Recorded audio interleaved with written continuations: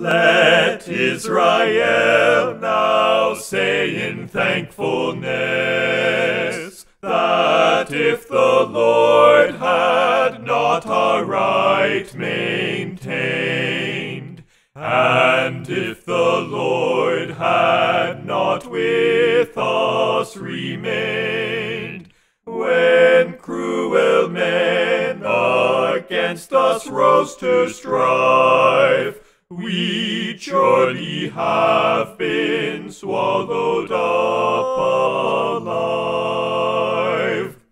Yea, when their wrath against us fiercely rose, then would the tide o'er us have spread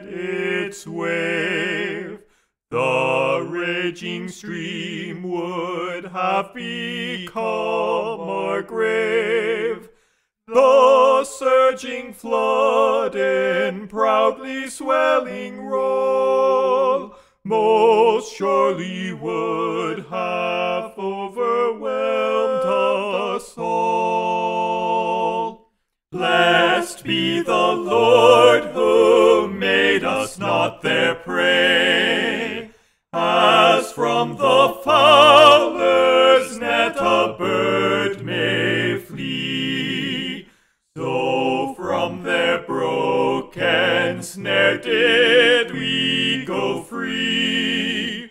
Our only help is in God's holy name. He made the earth